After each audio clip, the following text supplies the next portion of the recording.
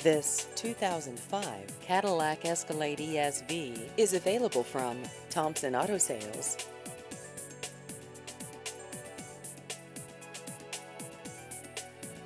This vehicle has just over 141,000 miles.